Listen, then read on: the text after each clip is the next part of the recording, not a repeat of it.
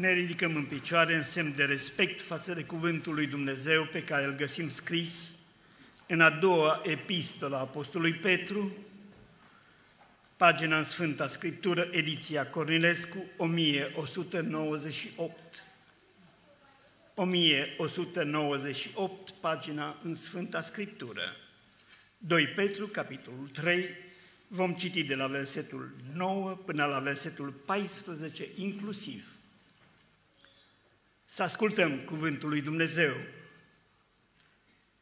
Domnul nu întârzie în împlinirea făgăduinței Lui, cum cred unii, ci are o îndelungă răbdare pentru voi și dorește ca nici unul să nu piară, ci toți să vină la pocăință. Ziua Domnului însă va veni ca un hoț. În ziua aceea cerurile vor trece cu trosnet, trupurile cerești se vor topi de mare căldură și pământul cu tot ce este pe el va arde. Deci, fiindcă toate aceste lucruri au să se strice, ce fel de oameni ar trebui să fiți voi printr-o purtare sfântă și evlavioasă, așteptând și grăbind venirea zilei lui Dumnezeu, în care cerurile aprinse vor pieri și trupurile cerești se vor topi de căldura focului. Dar noi, după făgăduința Lui, așteptăm ceruri noi și un pământ nou în care va locui neprihănirea. De aceea, prea iubiților, fiindcă așteptați aceste lucruri, siliți-vă să fiți găsiți înaintea Lui, fără prihană, fără vină și în pace. Amin. Amin. Să cerem o binecuvântare specială peste cuvântul citit și peste ființa fiecăruia dintre noi. Să ne închinăm înaintea Domnului. Cu adânc respect ne închinăm înaintea Ta, Dumnezeul cerului și al pământului. Ne închinăm înaintea Ta în numele și de dragul Domnului Isus Hristos. Și te rugăm, revarsă-ți o binecuvântare specială peste pasajul citit din cuvântul Tău. Tată, te rugăm, binecuvintează fiecare suflet care a pășit pragul casei Tale din loc. Binecuvintează, Doamne, mintea fiecăruia, să înțeleagă al Tău cuvânt. Binecuvintează inima fiecăruia să primească în totalitate cuvântul Tău. Și te mai rugăm, binecuvintează voința fiecăruia, ca noi toți să trăim statornic al Tău cuvânt. Ascultă-ne ruga, te rugăm, în numele și de dragul Domnului Isus Hristos spre slava Lui. Amin. Amin. Ocupăm locurile.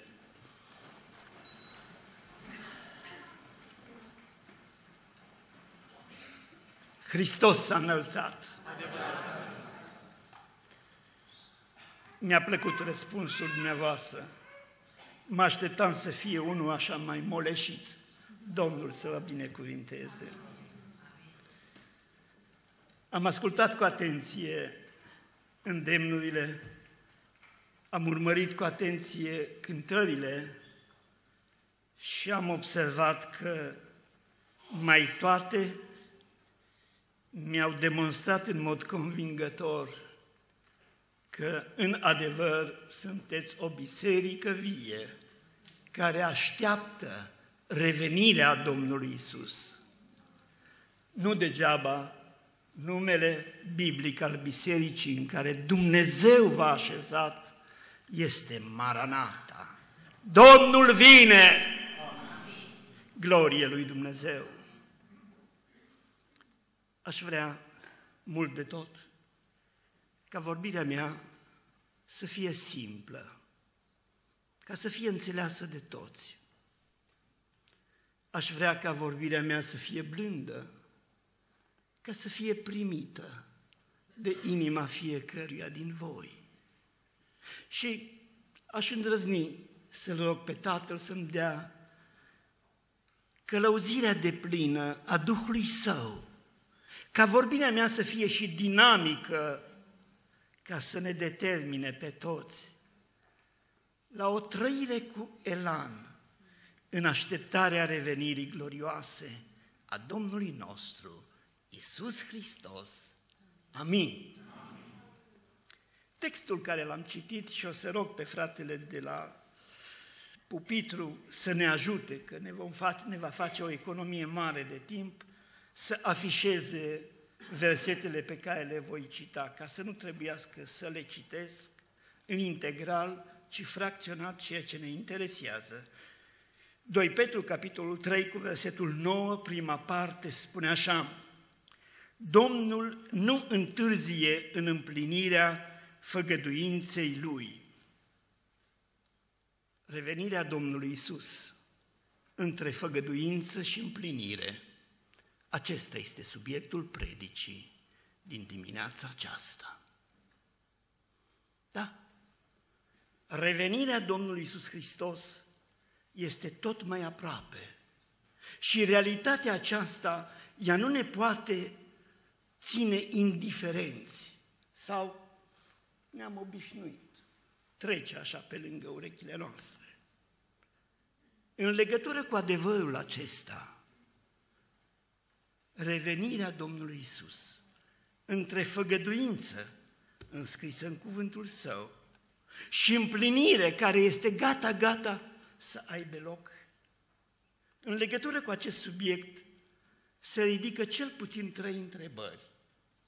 Și ne place că Dumnezeul nostru nu se supără când îi punem întrebări, cu o singură condiție, să fie întrebări smerite. Doamne, când vei reveni?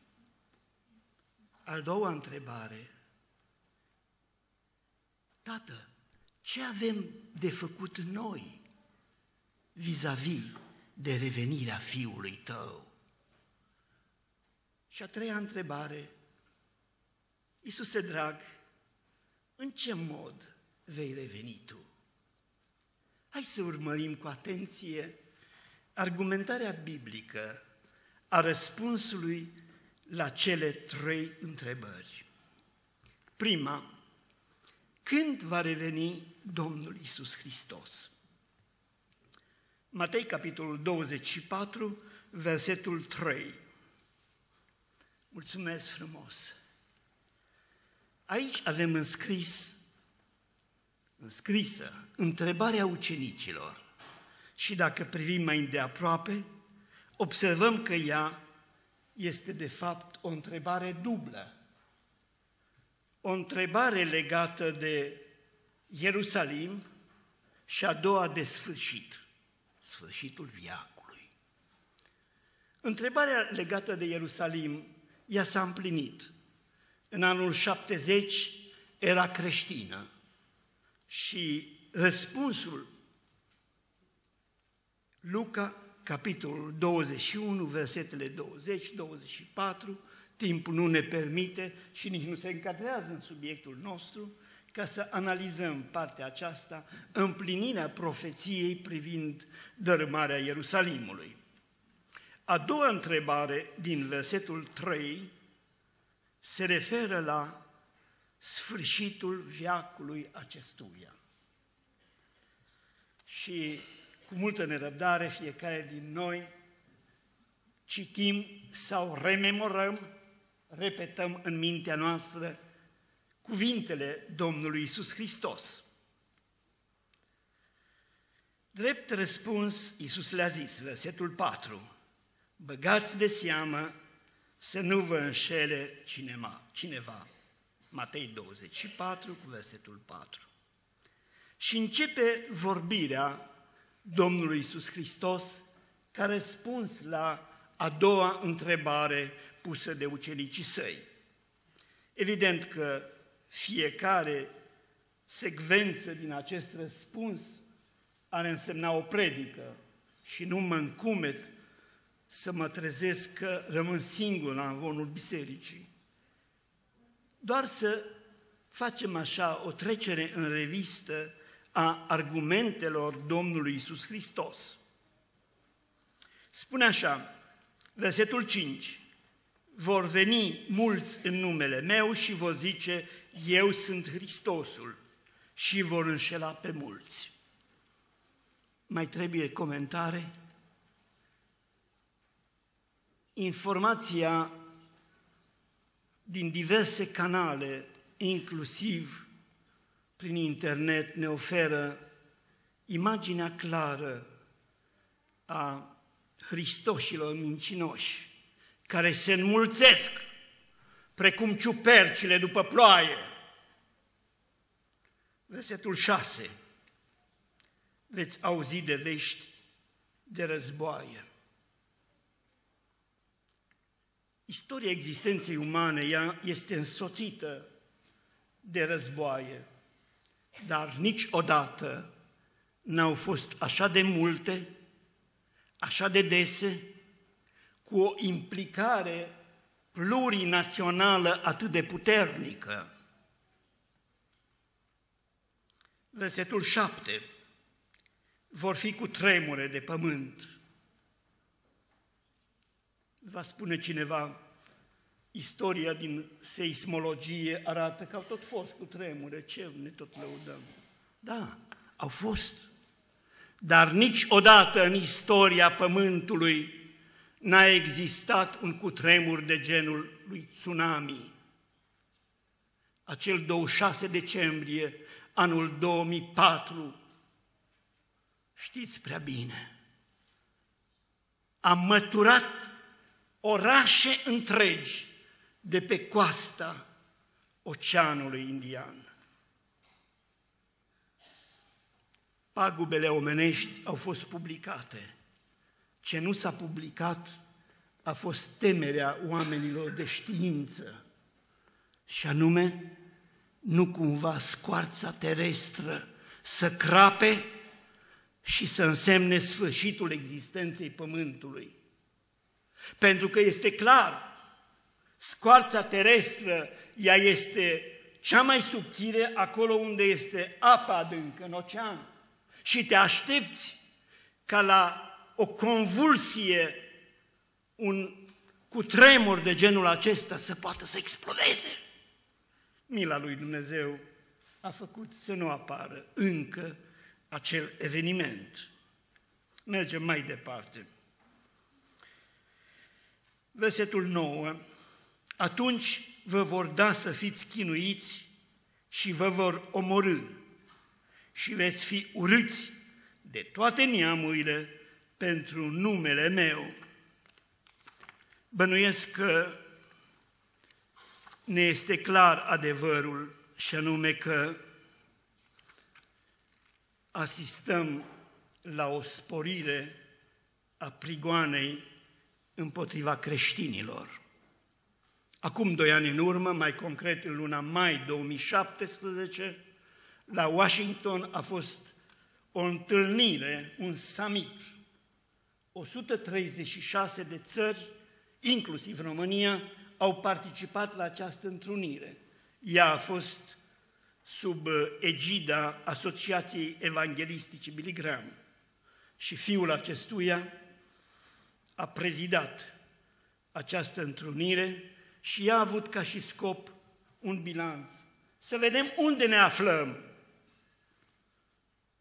Peste 100 de mii de credincioși creștini sunt martirizați în fiecare an. Noi când vorbim de martiri, gândul ne zboară la primul secol, acele zece valuri de prigoană, tot respectul. Dar numărul creștinilor care mor ca martiri în anii în care trăim noi este de zeci de ori mai mare decât atunci. Cu alte cuvinte, împlinirea Bibliei și sub aspectul acesta este foarte, foarte mare. Dați-mi voie să vă mai dau încă un argument apropo de acel summit.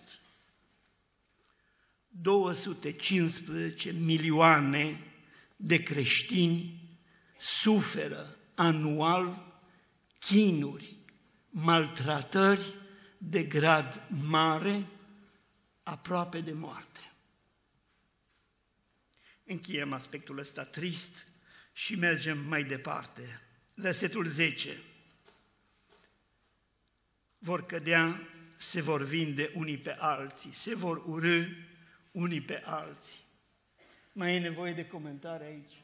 O simțim fiecare pe pielea fiecare dintre noi. Mergem mai departe. Se vor scula mulți proroci mincinoși și vor înșela pe mulți. Doamne, fă ca prorocii aceștia să meargă și ei la discoteci, la bodegă, dar nu în lumea creștină. Te doare când vezi creștini onești, păcăliți de acești proroci mincinoși. Cum poți suporta, Dumnezeule?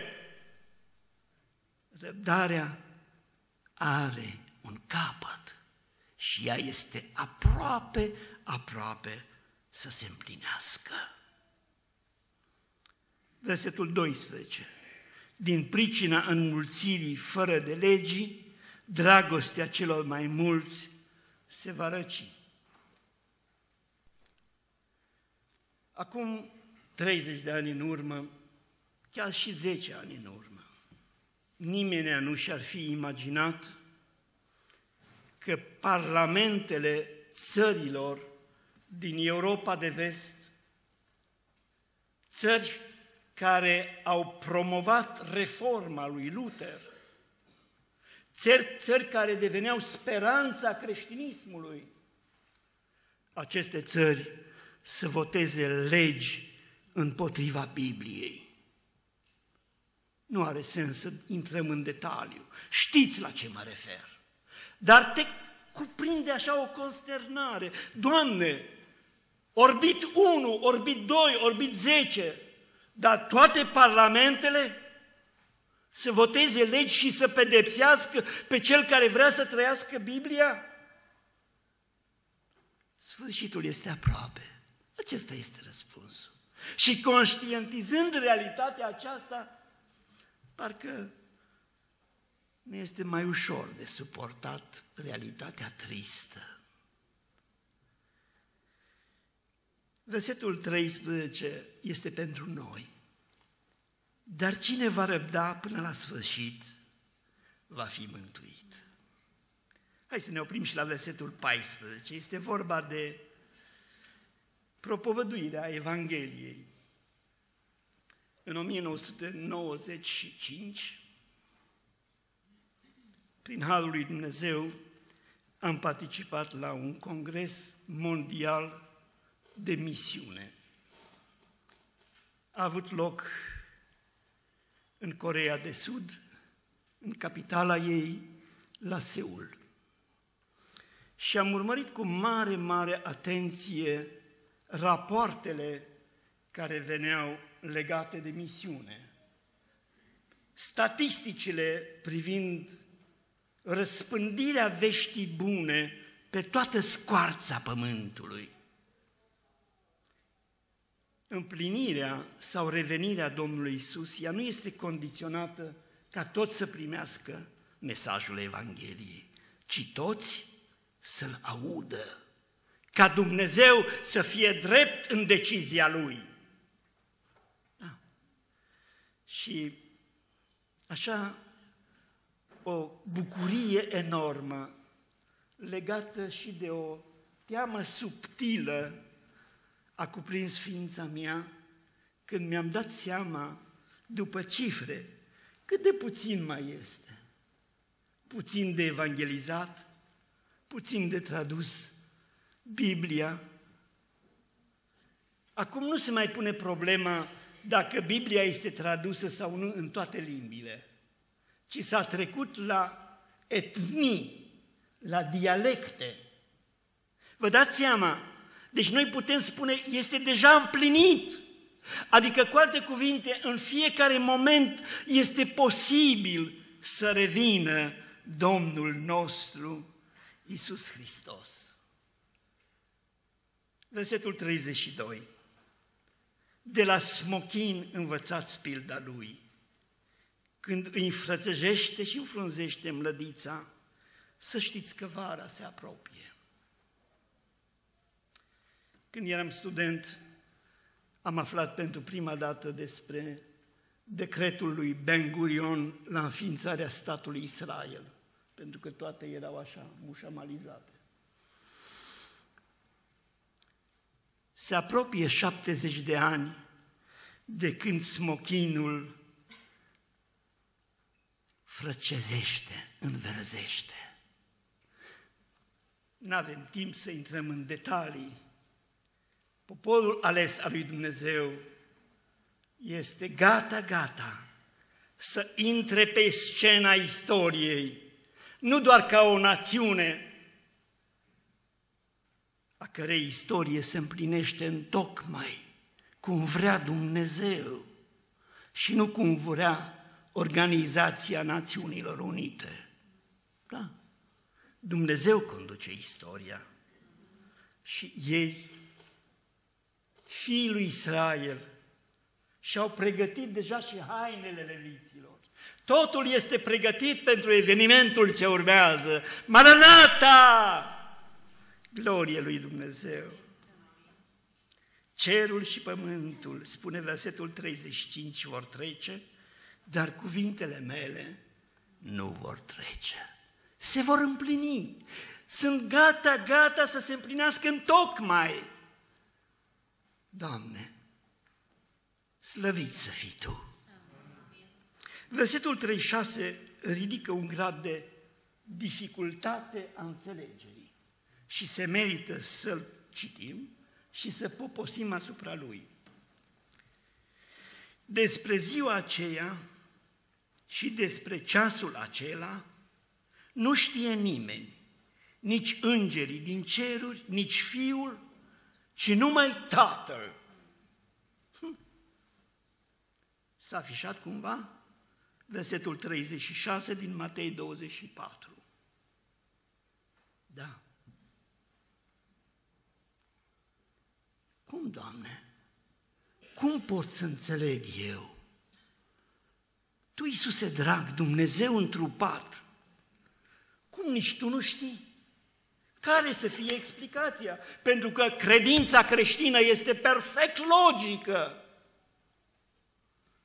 Explicația este următoarea. Dumnezeu, în atotputernicia Lui, El are drept și are putere de autolimitare. Iisus Hristos, forma vizibilă a slavei Dumnezeului nevăzut, Ioan 1 cu 14, El, venind pe pământ, ca Dumnezeu întrupat, ca fiu al omului, el s-a autolimitat. În existența mea terestră, ca fiu al omului, eu cancelez informația aceasta despre sfârșitul viacului. Eu mă identific cu oamenii și în privința aceasta. Mă limitez ca să semăn cu ei să fiu în papucii lor, cum spune american. Slăvim pe Domnul, că asta este numai până la înălțare sau probabil la înviere, că de acolo lucrurile s-au schimbat. Glorie Salvatorului, Mântuitorului nostru. Amin. Concluzia la această scurtă retrospectivă este în versetul 42, Matei 24, cu versetul 42. Poate așa, mulți am, Doamne. Vegheați, dar, pentru că nu știți în ce zi va veni Domnul vostru. Aceasta e concluzia care ne dă aripi și care ne face să avem putere să ignorăm toată imoralitatea secolului nostru și să rămânem lumină și sare în lumea aceasta care este gata, gata să se putrezească de tot. glorie lui Dumnezeu pentru bunătatea sa, pentru răbdarea sa. Doamne, îți mulțumim că nu știm când vii. Pentru că, în mod inerent, am face atâtea păcate înainte de a veni Tu și cu câteva zile înainte ne-am și pocăi și fiecare ne-am cere iertare de la toți și de la cei care nu ne-au greșit, ca să ne asigurăm că n-a rămas ceva nerezolvat. Oh, mulțumim lui Dumnezeu că nu știm. Acum să trecem la a doua întrebare. Ce trebuie să facem noi? Care este datoria noastră vis-a-vis -vis de realitatea revenirii Domnului Isus Hristos? Lucrul acesta ne este dat ca răspuns în capitolul 25 din Evanghelia după Matei. Așa îmi place coerența Sfintelor Scripturi, logica perfectă. În Evanghelia după Matei, la capitolul 25, avem două pilde. Nu vom intra în detaliu. Fiecare din ele constituie două, trei predici rostite de păstorii noastre, sunt convins. Dacă încă n-au rostit, vor rosti. Noi facem însă o corelare de ansamblu. Pilda celor zece fecioare. Ce ne spune ea nouă vis-a-vis de revenirea Domnului Isus? Pilda aceasta, ea ne atenționează asupra faptului că nu e suficient să fii creștin. Ai nevoie să veghezi, deci să nu dormi, dar nu doar atât, ci mai ai nevoie de cuvântul lui Dumnezeu și de călăuzirea Duhului Sfânt. Candela, ea în esență are două elemente decisive care îi dau viață. Este vorba de fitilul acela, partea materială, și este vorba de uleiul care arde. Transpus în viața spirituală, candela aprinsă înseamnă hrănire din cuvânt sub incidența Duhului Sfânt. Viața noastră trebuie trăită cu orice preț, respectând în tocmai cuvântul lui Dumnezeu și trăind în călăuzire de plină prin Duhul Sfânt. El să ne ajute, El, Dumnezeu la tot puternic, ca această îndatorire să o împlinim cu toții. Și dumneata, și vreunul dintre voi care încă nu aveți un legământ de credință în apa botezului, să înțelegeți că aveți nevoie de cuvânt și de viața Duhului Sfânt. El să ne ajute pe fiecare în parte. Cei care avem să fim promotorii, să nu fim cu gurile închise, să vorbim. Iar cei care nu aveți, să înțelegeți cu mintea voastră, să împrimiți cu inima voastră acest adevăr incontestabil. În vremurile care preced revenirea glorioasă a Domnului Isus Hristos, se cere veghere cu hrănire din cuvânt și trăire după îndemnurile Duhului Sfânt. Amin. A doua pildă, pilda talanților, ne pune argumentul suplimentar, și anume că așteptarea revenirii Domnului Isus, ea trebuie să fie făcută de noi cu activitate. Știți, creștinii, mai ales cei mai excentrici acea, căutori de senzație. Hai să trăim părtășie, să ne relaxăm, să ne ridicăm mâinile, să cântăm, să-L slăvim, să ne rugăm. Da, da, dar restul ce faci?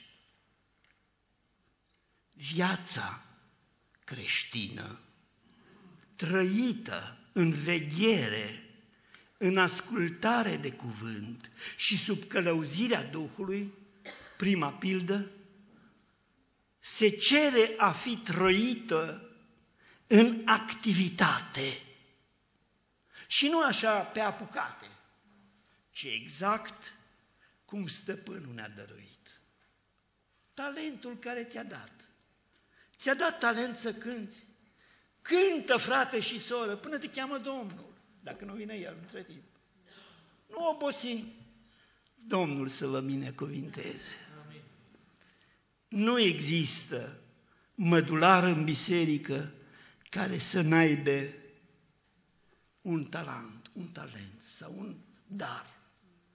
Duhul Sfânt de daruri fiecăruia potrivit nevoilor spre completare, spre servirea celuilalt.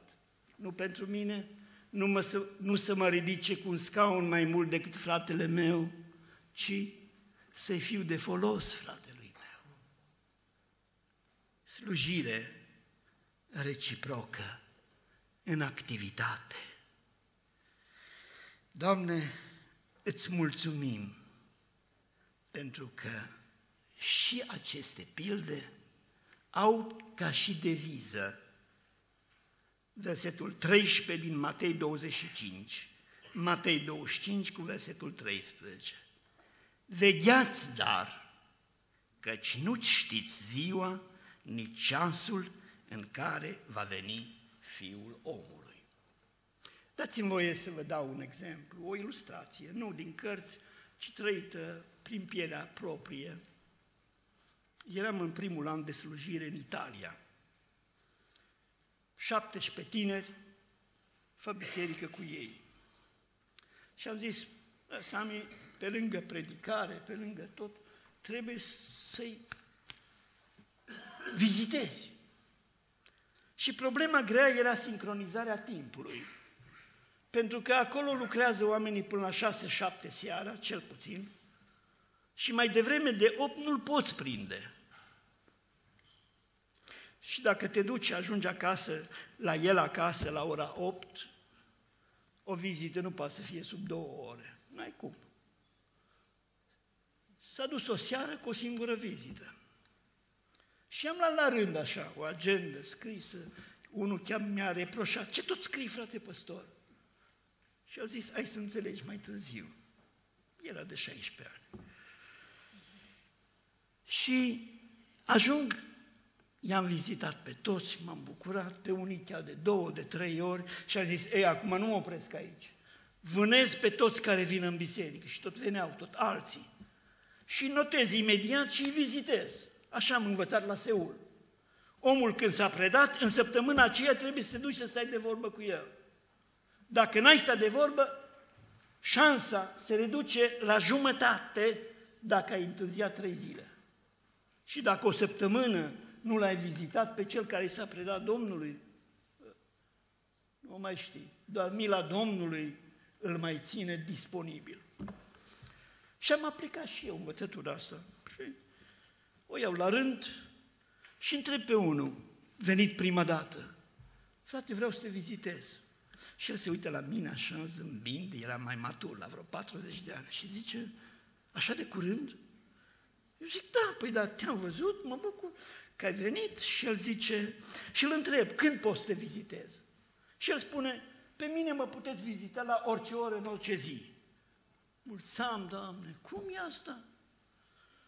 Eu lucrez ca și custode, adică administrator, la moșia contelui cu tare și cu tare, 20 de kilometri de Torino. Nici o problemă. Vin până acolo.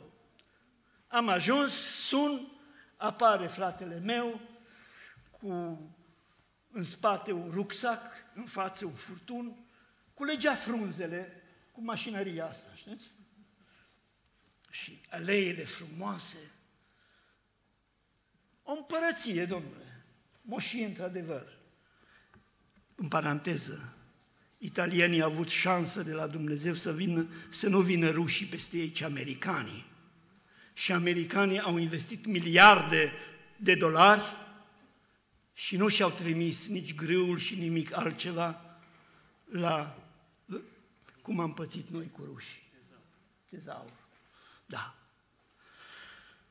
Și au avut șansa să nu naționalizeze avuțiile astea. Și moștenitorii de drept au rămas bogați prin succesiune. Și stau de vorbă cu fratele și spun, ce faci, frate? Și el așa, cumva mirat, zice, păi nu vedeți cât, câte hectare sunt aici? Am de lucru, frate. Zic, da, înțeleg că ai de lucru. Mai ales acum cât cad frunzele în continuu. Să ții aleile astea curate e o problemă. Spune-mi, te rog frumos, proprietarul, unde locuiește? La vreo 500 de kilometri, frate păstor. Și de câte ori vine pe an să te vadă, să-și vadă moșia, să facă un banchet, ceva? Și el zice, hm, nu știu, că niciodată nu m-a anunțat. Nici când vine, nici când pleacă. Așa aș putea spune, după experiența mea, cam o dată la unu sau la trei ani vine să vadă. Și când a fost ultima dată? Păi săptămâna trecută. Hm, interesant. Săptămâna trecută a fost proprietarul, știi că el nu poate să, nu vine mai devreme de o dată pe an, că e ambasador nu știu unde, în America Latină. Și tu continui să ții curat frumos. Și el așa, foarte stăpân pe sine, zice, frate, eu muncesc pentru Domnul, dar mă plătește ambasadorul. Și mai spune, zice, eu muncesc ca și cum el ar veni acum, ca și cum de seară vine helicopterul și gata s-a așezat aici. Așa trebuie să trăim noi. Așteptarea nu este așa cu mâinile ridicate în sus, ci cu activitate.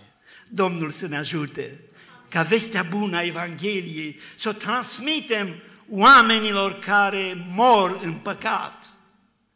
Să o transmitem prin viața noastră, prin felul nostru de trai și apoi prin ceea ce înseamnă vorbirea, mărturisirea noastră. El să ne ajute la aceasta. Amin. Am văzut, deci, că nu știm când vine și e bine că nu știm. Am văzut ce avem de făcut noi în așteptarea revenirii sale și acum să încercăm, așa măcar puțin de tot, să vedem modalitatea în care va veni Domnul Isus. Întrebarea aceasta nu prezintă dificultate pentru că avem argument biblic. Faptele Apostolilor, capitolul 1, versetul 10 și 11. Domnul Iisus Hristos s-a înălțat la cer și ucenicii săi, zice versetul 10, și cum stăteau ei cu ochii pironiți spre cer și se suia el, iată că li s-au arătat doi bărbați îmbrăcați în alb, ambasadorii cerului. Și au zis, versetul 11, a obosit, nu mai apare. Fapte 1 cu 11.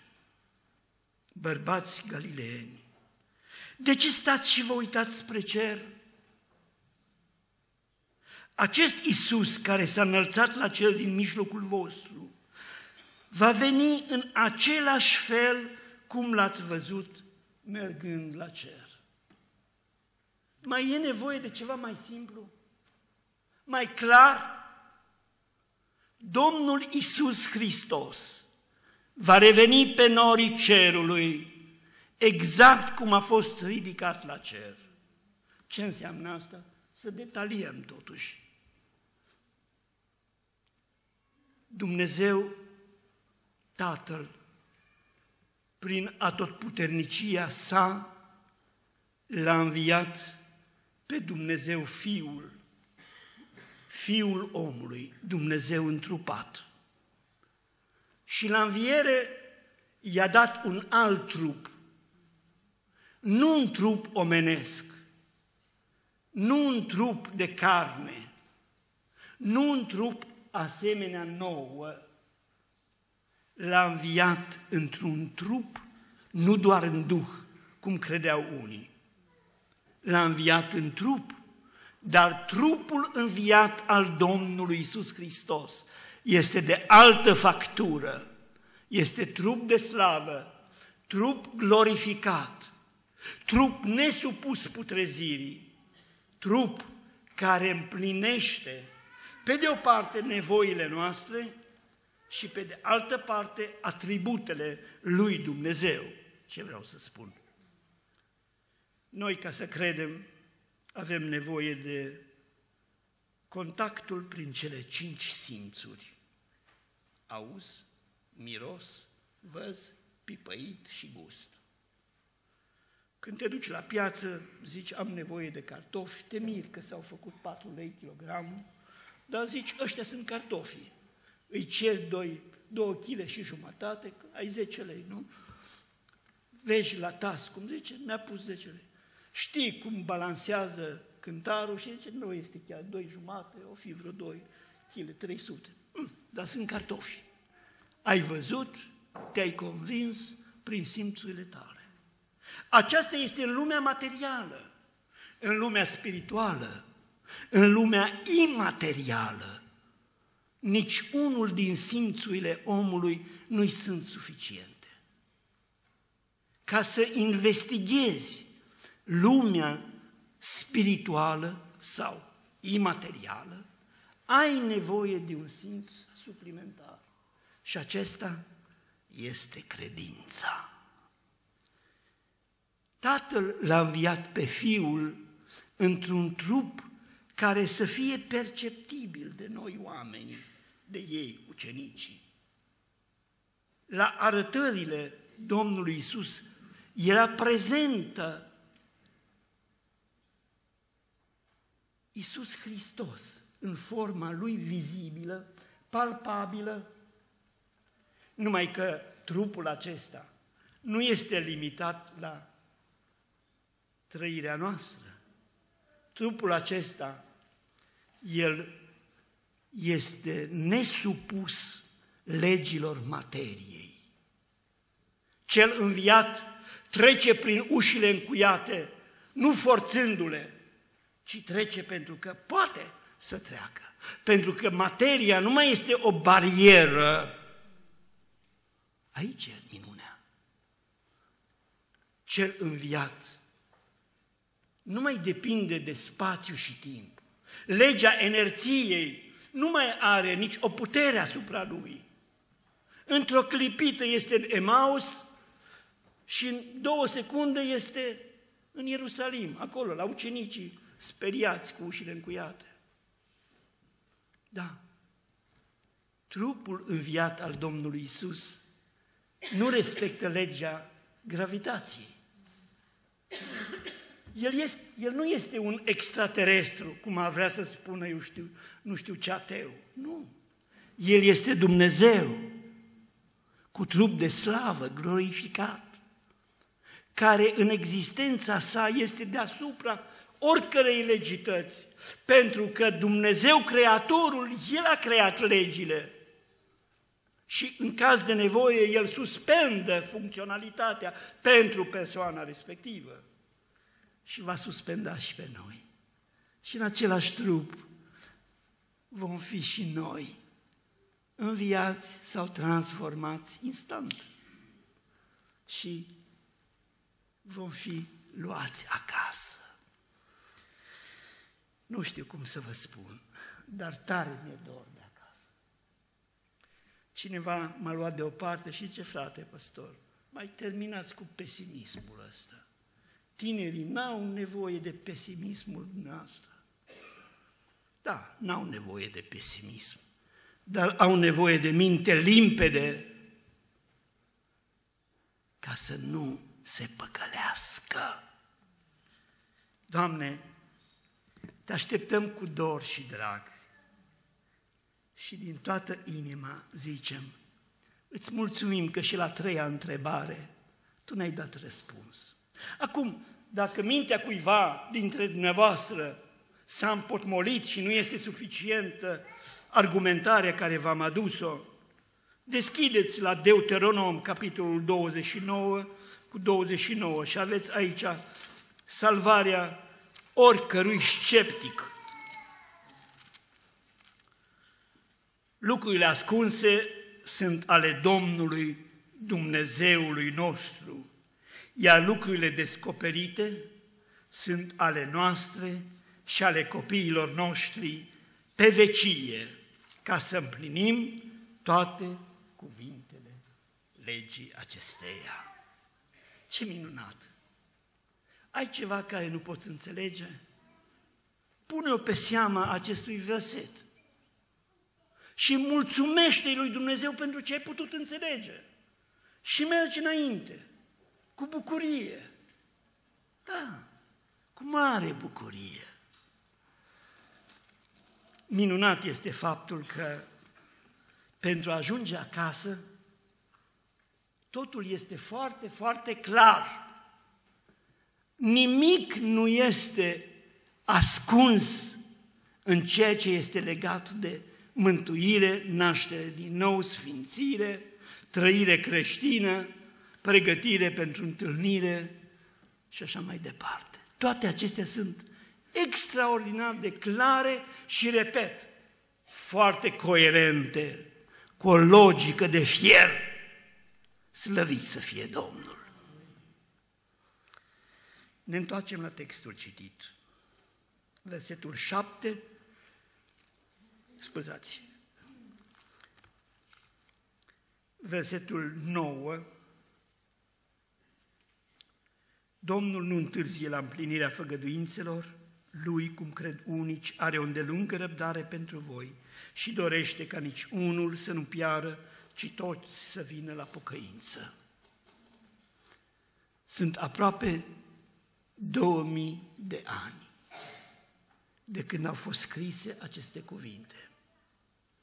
Oare nu ne ajunge răbdarea lui Dumnezeu? Nici unul să nu piară, ci toți să vină la pocăință. Ziua Domnului, versetul 10, însă va veni ca un hoț, exact ce ne-am studiat până acum. În ziua aceea cerurile vor trece cu trosnet, trupurile cerești se vor topi de mare căldură și pământul cu tot ce este pe el va arde. În originalul, în limba greacă, acest cu tot ce este pe el este un termen care este inclusiv întreaga planetă, adică incluzând și apa. Mi-aduc aminte Eram ca fetița aceea, vreo 12 ani, clasa 5 -a. Și ziceam și eu, sunt mai mare, am și eu dirigintă, nu mai am aceeași învățătoare care să ne bată cap la cap în continuu, o săptămână întreagă, se schimbă profesori, e altceva. Și vine într-o vinere a valvârtej diriginta, fica preotului. Copii, poi mâine, duminică, toți la căminul cultural, împreună cu părinții voștri. Dacă e un singur copil din familie, cu un părinte. Dacă sunteți doi sau mai mulți, cu ambii părinți. Și fiecare părinte să stea lângă copilul său. Noi vă cunoaștem pe voi, scriem prezența, că pe părinții voștri nu-i cunoaștem și dacă nu vine părintele vostru, veți avea șase la purtare și repetenți. Și eu așa din creație conștiincios, supărat, duminică, la prânz, la ora 12, să fiu la căminul cultural, o să vrea tata. Ce să fac? Vin trist și îi spun tati, uite ce ne spune diriginta, că vine un tovarăș de la regiune și nu se acceptă niciun fel de motivație. Toți părinții trebuie să fie prezenți împreună cu elevi la căminul cultural. Și tata se uită așa la mine, liniștit, relaxat, și zice, Samuele, dar la ce oră? Tati, la ora 12. 12? Oh, e perfect! Fiule, păi noi la 12 terminam biserica, acolo pe Toloacă, în 10 minute sau chiar 7, dacă mergi mai repede după mine, coborâm în vale și am ajuns la caminul cultural. Și ca să mă potolească și mai mult, zice, fii liniștit, îți garantez eu că ei nu vor începe până venim noi. Așa s-a întâmplat. Unde vrei să stai, Sami? Și zic, tati, știi ce, eu prefer prima bancă, că așa sunt și la clasă. Bun, stau, tata ascultător de copilul său. Și stăm și ascultăm pe acest propagandist.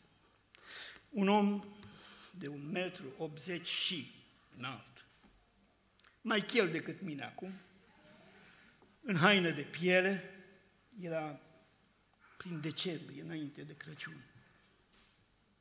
Cu două cărți în mână, intră așa țanțoș, se urcă pe podiumul acela, cum îi spune, catedră, sau, și începe să spună, știți ce am în mână aici?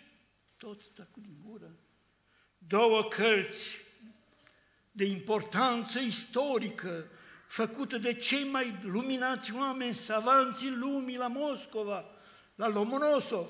Iată, asta se cheamă Biblia Hazlie, asta se cheamă manualul ateului. Așa un duș rece a trecut prin spinarea mea. Doamne! Și începe să vorbească, vezi și uscate, era un propagandist echipat, aș putea spune, dar mai mult impertinent. Și spune, știți ce, că Biblia este plină de greșeli, asta vroia el să demonstreze. Plină, plină de greșeli, Biblia. Și deci nu trebuie crezută. Și zice, știți ce ne-a fost Petru? Un pescar. Și uite ce spune pescarul ăsta. Că pământul se va, va arde cu tot ce este pe el. Știți ce spun predicatorii? Că va arde și apa. Păi nea Gheorghe, ăla era primar, adică primar, secretarul de partid. Păi cum să ardă apa? Oameni buni, doar știți toți că atunci când vine pom, vin pompierii, vin cu apă ca să stingă focul. Cum să ardă apa? Cu asta încheie el conferința. Aveți întrebări? Totul se face liniște. Părinții se uitau pe geam, copiii pe sub bancă. Mm. Învățătorii aplaudau, s-au oprit aplauzele repede și plec spre casă. Tata înainte, eu după el. Tati, cum e asta? Cu apa care arde. Și el zice, Samuele, crede-mă că eu nu știu să-ți dau explicația. Dar știi ce? Eu te pot duce la covaci. Ăla care făcea potcoave de cai. Și ai să vezi, privește-l cu atenție. Din când în când el are o căniță micuță acolo. Și ia și aruncă așa puțin apă pe jăraticul acela. Și arde mai bine. Da? Da. M-a satisfăcut pe moment, dar întrebarea a rămas în în continuare, cum să ardă apa. Și a venit, slavă Domnului, ora de chimie. Foarte simplu, oxigen, hidrogen, moleculă de apă, doi hidrogen, un oxigen. Profesoara Atee ne-a explicat foarte clar că oxigenul întreține arderea și hidrogenul arde, adică este combustibil. Hm, interesant, deci apa asta, dacă aș desface în două, ar putea să ardă și într-un spațiu închis, nu mai are nevoie de aer. Asta este realitatea, scumpii mei. Apa poate să ardă. Când uh, am terminat școala și a trebuit să lucrez într-un institut, mi-au dat însărcinarea aceasta să verific dosarele de invenții inovații. Și multe dintre ele erau un fel de perpetuum mobile, știi? Adică ceva care este imposibil să funcționeze. Și unul din subiectele care mi-au apărut de mai multe ori în 23 de ani de activitate a fost ăsta. Mașină propulsată cu apă. Și demonstra că mașina merge. Și am zis, domne, tot ce ai făcut până aici este bine. E corect, e științific. Dar trebuie să înțelegi următorul lucru. Ca să fie în practică, trebuie să fie eficient. Tu ai nevoie de 10 ori mai multă energie electrică ca să rupi molecula în două, ca apa, vaporii aceia sau picăturile acelea, să devină combustibil.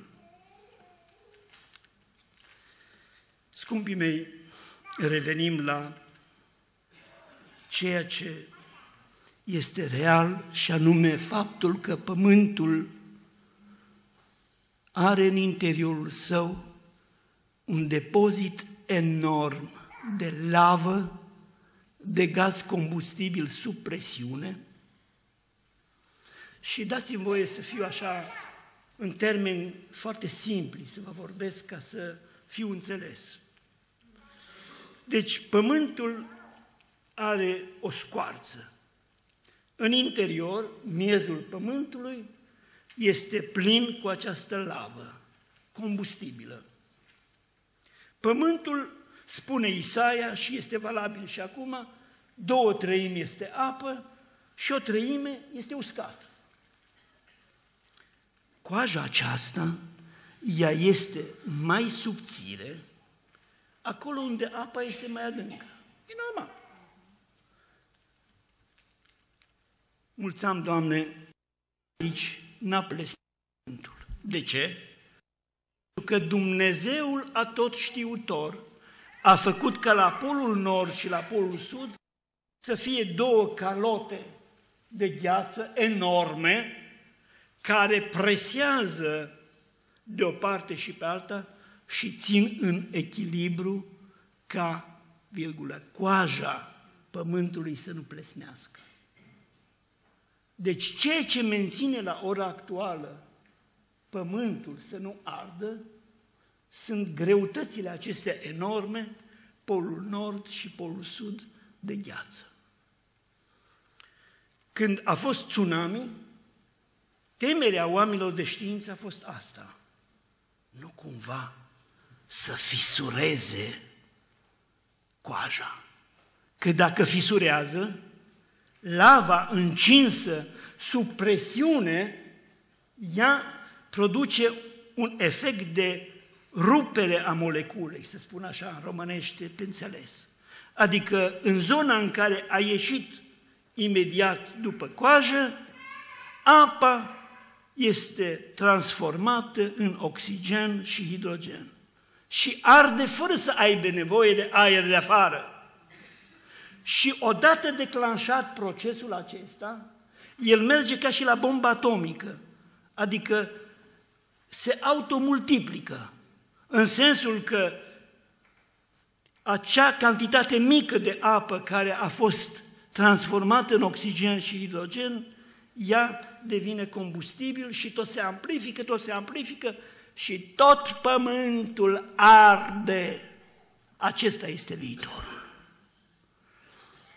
când uh, în 1000, nu, 2010 a fost un vulcan la Polul Nord. Vulcanul a erupt și lava vulcanului, aruncate la 10, 15, 20 de kilometri în sus, Vă dați seama ce presiune e acolo.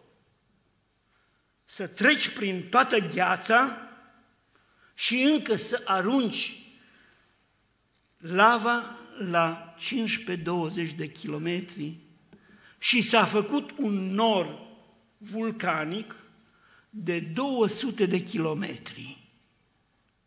Și stațiile radar paralizate, pentru că tot ce înseamnă nor vulcanic sau carbon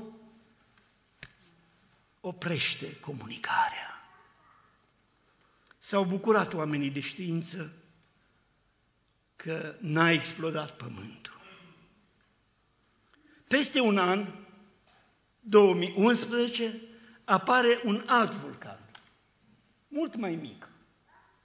Așa de speriați au fost toți geofizicienii, cei care studiază fizica Pământului, că au anulat 200 de, nu, 100 de mii de zboruri. Am făcut apel la notițe ca să nu fac rotunjiri. 100 de mii de zboruri au fost anulate din cauza vulcanului respectiv și au rămas la sol 8 miliarde de oameni. Vă dați seama? Stai și te întrebi, Doamne, cum este asta? Da. Bunătatea Domnului mai este încă în... Fac o corecție, iertați-mi. Nu 8 miliarde, ci 8 milioane de uh, călători au rămas la sol. Știți, uh, există în mod inerent și e bine că așa este. Vorbirea nu este într totul perfectă ca să fim protejați. Trebuie să fim protejați de Dumnezeul nostru. Amin. Scumpă biserică, versetul 14 din textul citit, ultimul verset. De aceea, prea iubiților, fiindcă așteptați acestea lucruri, voi sunteți maranata și îl așteptați pe Domnul. Siliți-vă să fiți găsiți înaintea Lui, fără prihană, fără vină și în pace. Când spun fără prihană, include ascultător de plin. Și când spun ascultare de plină, înseamnă inclusiv misionar voluntar, prin viață și prin vorbire. Dumnezeu să binecuvinteze Biserica Maranata cu acel suflu misionar în aceste vremuri apocaliptice, fie ca fiecare din voi să aveți această bucurie a mărturisirii, având ca suport o trăire conform cuvântului Sfânt. El să vă binecuvinteze. Amin.